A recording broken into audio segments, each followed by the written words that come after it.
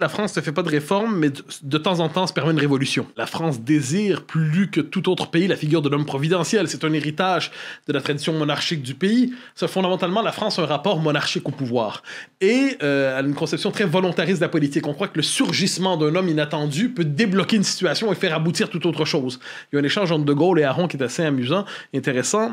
Aron dit la France ne fait pas de réforme, mais de temps en temps se permet une révolution.